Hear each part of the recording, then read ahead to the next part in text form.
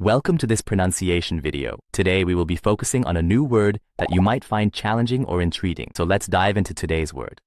Barcelona, which means City in northeastern Spain, capital of Catalonia, renowned for architecture and culture.